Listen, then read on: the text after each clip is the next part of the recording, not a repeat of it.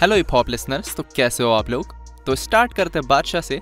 तो एक भाई ने बादशाह को ट्वीट करा था। Badshah sir as a hip hop fan this is also a culture of hip hop and we want the hustler to diss each other तो इस पर बादशाह लिखता है rappers diss each other when there is feud or a problem this hustlers love each other and are extremely supportive and all of us are proud of it तो अब बात कर लेते हैं रोहन करियापा के बारे में। Seeing M C Stan in B B while it's a great to see a rapper on the biggest Indian TV show I am sceptical about how the show will shape and display stand पर सोना stand image is bigger than his songs तो M C Stan की बात हो ही रही है। तो एम सी टेन की बिग बॉस में लड़ाइयाँ स्टार्ट हो चुकी है।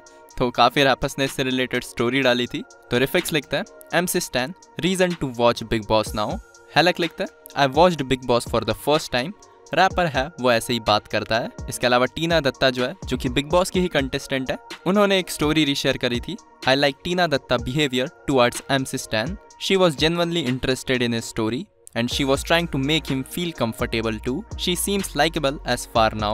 Plus, she is not picking unnecessary fights with others. तो एम सी स्टैन का जो इंस्टा अकाउंट है, वो इसको रीशेयर करता है तो आप लोग बताओ, आप लोग को कैसा लग रहा है एम सी स्टैन को बिग बॉस में देख के साथ ही क्या लगता है? स्टैनी कब तक बिग बॉस में रहने वाले हैं? या फिर जीत के आएँगे? खैर नेक्स्ट अपडेट जो है वो कृष्णा की साइड से तो कृष्णा के फ़ैन पेज ने उनसे पूछा था, भाई, कल कुछ ड्रॉप होने वाला है?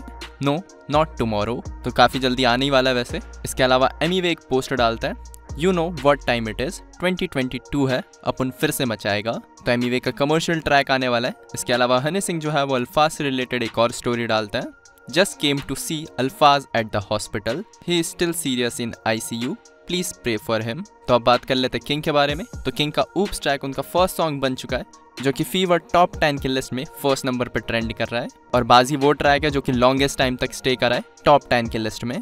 तो अब कुछ रिलीजेस के बारे में बात कर लेते हैं। तो वर्ल्ड का क्यू गाना आउट हो चुका है साथ ही हिट जोन का कहने दे साथ ही बाली और 47 का नो मर्सी भी ड्रॉप हो चुका है। इसके अलावा फरहान खान जो है वो 50,000 मंथली लिसनर्स क्रॉस कर चुके हैं। साथ ही श्लोव जी अपना एक गाना लेके आने वाला है जिसका नाम है बंदा शांति प्रिय। तो इसी के साथ मिलता हूँ मैं आप लोगों से नेक्स्ट वीडियो में। तब तक के लिए बाय